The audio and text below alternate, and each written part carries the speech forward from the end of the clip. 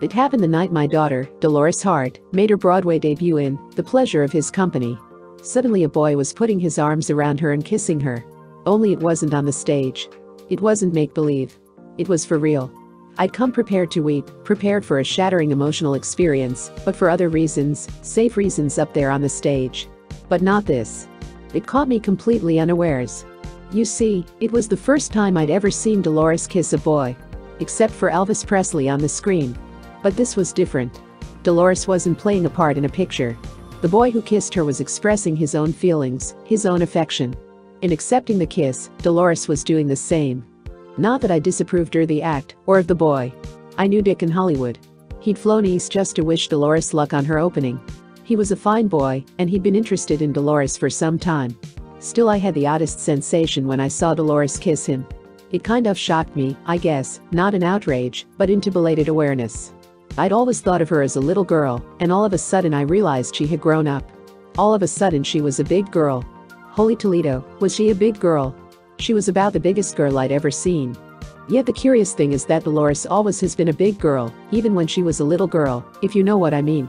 It occurred to me as she and Dick kissed how remarkable it was that in all her 20 years, I'd never had any problems with Dolores about boys. Considering her beauty, I think most people will admit that's quite unusual these days. Especially since she turned out so well, I'd like to think I taught my daughter much of what she knows about boys. But I find it hard to sun myself under that illusion. She was born with built-in good sense. I doubt that I ever told her anything she didn't already know or sense, or that I ever warned her of any danger against which she was not already on guard. Not so long ago, in fact, shortly before she left to do her Broadway play, Dolores came to me and told me about the difficulties she was having with a boy she knew.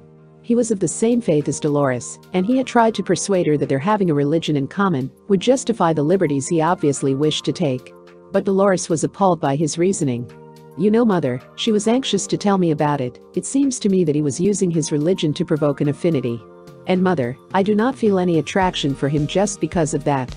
I know in my heart that when the time comes the right feeling certainly will be there, but I could never feel obligated to demonstrate affection because of false religious professions. I didn't have to help her think out her problem. She already had thought it out on her own. All I could do was nod and offer silent prayers for her innate wisdom. Nevertheless, Dolores made me feel that my approval was very important to her. She seemed so relieved that I agreed with her that she made me feel as if I had helped her work out her problem. Yet if she hadn't chosen to confide in me, I would have had no idea it existed. From earliest childhood, that has been a characteristic of Dolores. Most mothers shudder as they recall the delicate years of steering their daughters through adolescence. Dolores, bless her, spared me that agony. She always had better sense than anyone in a long line of Bowen girls, all of whom, like myself, married at 15, 16 or 17. I remember that when I was a little girl I thought someone should have talked to me, but they never did. I just thought it would be a good idea. With Dolores, it has worked the other way around.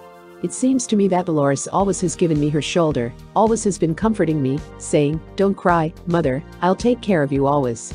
With such a lovely daughter on my hands, I won't pretend I didn't feel the same anxieties as other mothers. Dolores and I have talked many a night under the moon and all that. We go out in the backyard, sit in the chaise lounge and talk girl talk. Once when Dolores was 11, I mentioned the dangers when a girl is promiscuous. Mother, Dolores asked, what is promiscuous? That's when you know in your heart what you're doing is wrong, I replied. I don't think Dolores has ever forgotten that. I know she's never done anything that she felt in her heart was wrong. I guess she's had God's hand on her shoulder. She has so much heart.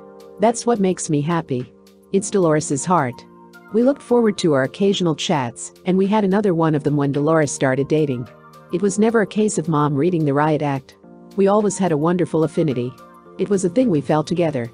We always had a communication. Birds and bees time is very delicate, and too many parents shy from facing it, sometimes at high cost to their children. My own parents, for one reason or another, never got around to discussing it with me. Although I can gratefully say that God has been kind to me, I certainly could have been none the worse if my folks had seen fit to acquaint me properly with the facts of life. Sex is not wrong, I assured Dolores. It's God's creation. It's the way God makes living things. There would be no such thing as children if not for sex. Therefore it's right and beautiful when it's sanctified by marriage. I said it as an act of duty rather than necessity. I didn't really have to tell this to Dolores. She knew it already.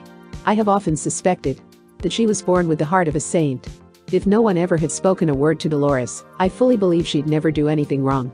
She just happens to be about the sweetest thing that God ever put into the world. And if I sound prejudiced, who has a better right to be? Just be good, I would tell her. Just be clean. Never lie to yourself and never lie to your God. When she was 12, I said to her, Sweetie, look, you're a big girl now. One day you will get married. Until then, there are certain rules you have to keep. You're just a young girl, but by all means, keep the rules. Above all, if I can take credit for one thing, it's not so much what I said to Dolores as she grew up, but how I treated her and her Hoy friends. I never doubted her or them, never spied on them, never questioned them. I gave her freedom, and in return, she gave me full vindication. Dolores has just turned 20. She's a teenager no more, a child no more. Yet I can honestly say I never treated her like a child. In all her teens, I can recall imposing only one restriction on her the first time a boy asked for a date, he wanted to take her in his car. He was a real nice boy from a very nice family. But I just didn't think it was safe for teenagers to drive at that particular time. It was simply a question of not risking an accident. Go ahead and keep your date, I told her, but do it on foot. So they walked to the Lorena Theater, and they had a grand time. That was the only don't I invoked. Any other don'ts that Dolores may have enforced were, I'm sure, a result of her own good judgment and religious training. Later, when Dolores herself learned to drive, I had no objection if she drove with dates. I felt if she could drive, why couldn't she get herself out of any situation? I told her only one thing, too easy, too late. It was a word to the wise, and Dolores, being quite wise, it was entirely sufficient. I practiced an open door policy. It always was open house and a big pot of spaghetti. I'd open up the doors and always bring the kids in. I'd have three or four girls over for a sleeping party. I never made Dolores feel guilty about asking a boy over, and there's never been a boy to the house who ever was poorly behaved or disrespectful. They'd always be on their own. They would take her to mass, go to the movies, sit and listen to music, work on various projects in the garage. They always had a good and wholesome time without my hovering over them. So often Dolores would have a boy over, and my husband and I would seclude ourselves in another part of the house instead of our presence annoying. It seems to me so simple, it makes for better children, if Dolores is any criterion, and I most certainly think she is. Dolores never did anything clandestine. She didn't have to. She always knew even. Before she asked that I gave her credit for knowing how to conduct herself, and that my consent would be given as a well-earned vote of confidence. May I have a sleeping group over this weekend? She would ask. Always the answer would be yes. The time to worry, and, tragically, by then it's usually too late, is when a girl feels she has to sneak around behind your back. I'll have you know that Dolores was playing with boys long before she ever thought of dating them. She always was running around in sweatshirt and jeans, tinkering with things, keeping busy, using her hands. I'm sure the boys rarely ever thought of her as a girl. She was just their equal. She'd get on the roof and help fix the TV aerial. She'd help mechanically and repair things. She'd always be in the garage working on projects with boys from the neighborhood. She'd work with them on puppet shows. They'd get together and paint, I mean art, not the side of a barn. They used to take bikes apart and put them together again, fix electric plugs. Long before the picture called The Fly was made, they had a science project and built a big mechanical fly. The garage was a community gathering place. She had the most wonderful rapport with the boys. They weren't sweethearts. They were comrades. Often she'd bring lizards and snakes into the house, and oh, how she'd infuriate me. She'd bring in a lizard and stroke his back, and I'd almost faint. But mom, she would say, Gabriel got him for me. As if that somehow made it different, and somehow it did. From earliest childhood Dolores was at ease with boys, and they were at ease with her. They were comfortable with her. They liked her, and they respected her. They liked her so much, in fact, that not until recently did they stop to reflect on how lovely she is. The result was, I offer deep thanks that she came out knowing how to handle herself and how to handle them. In those carefree days, Dolores learned one of the most important factors in getting along with boys. She works with them, not at them. And she knows that what was true in the garage when she was a member of a neighborhood do-it-yourself pack has to be true in her later relationships with men. When the time comes that you decide to get married, I told her, and you want to be loved, you have to give love. You don't have to work at it. It comes to you, and when you give, it comes easily. Fortunately, Dolores has the rare capacity to learn from the mistakes of others. She learned one of her biggest lessons from a mistake of mine. I married too young. Neither of us was old enough when we married, and we naturally paid for this mistake in frustration and unhappiness. We really were much too young to know what we were and what we wanted out of life, and it was inevitable that our marriage should fail. Dolores has been very sensitive to this experience of mine. And she has had more than her share of opportunities, if not temptations, to marry young. When she attended Corvallis High School, one of the loveliest and most popular young ladies on the campus, more than one hopeful young man set his cap for her. Once when what she thought was merely a good friendship ripened into emotional involvement on the part of the boy, he asked Dolores to become his wife. Of course, she had to refuse him. But she did it as gently and honestly as she could. She explained her own deep-seated distrust of early marriages and cited my experience as one of the reasons for her thinking. My father is a wonderful man and I love him dearly, she told him. I feel the same way about my mother. And I can see myself how their worlds really could not work out together. You can't say it's either person's fault in a situation like that. The only fault is that they didn't give themselves an opportunity to grow up before they married. She was terribly upset when she came home. She felt dreadful about hurting the boy's feelings. Oh mother, she was close to tears, I just so hope he understands and doesn't feel too badly. I pointed out we both were going to college in the fall, and what's more, to different colleges. I explained I wasn't in love with him to the point where I'd give up the thought of going to college to marry him. Even if I thought I was in love, I wouldn't trust myself. There were too many possibilities I might be reacting to emotional things. I put a comforting arm around her. If it really was love, she continued, waiting and seeing what happened to our feelings wouldn't hinder it, would it? For any teenager, a love strong enough to end in marriage should be able to stand the test of waiting, of seeing other young men. Don't you think so, mother? No ring around your finger or ring around your neck would be a protection. The wedding ring is not a magic wand that would ward off other intrusions. If seeing other young men would interfere with love, the love isn't solid. I told him it was so silly to put this test to it. I feel that love is not an obligation. It's the way you feel, not the way you should feel. Such maturity was not unusual for Dolores. She displayed it throughout her teens. Her own determination to give herself an opportunity to grow up before considering marriage was unwavering. No amount of pressure from marriage-minded boyfriends could budge her. I was so grateful that she understood the avoidable heartbreak I had endured. Naturally I didn't want her to marry as young as I did. I wanted her to express herself first, to do all the things a girl should do, and to meet all the people a girl should meet before giving herself to marriage. I didn't want to see her waste her youth. I think marriage is wonderful, and I'd like to have 10 grandchildren. But I'd like to see Dolores have a lasting marriage, good for 50 or 60 years. I wouldn't want her to go through two or three marriages. It's a good thing when a girl can say to herself, I give myself to one man. But Dolores scarcely needs any urging from me to think along these lines. It always has been her dearest and unswerving dream to love one man and one man alone, forsaking all others. So many times, even when I have been impressed with a boyfriend, she would chide me, I know he's a very nice boy, mom, but I'm just not ready yet. There's so much I want to do first. She always has been very frank with boys about her aversion to going steady.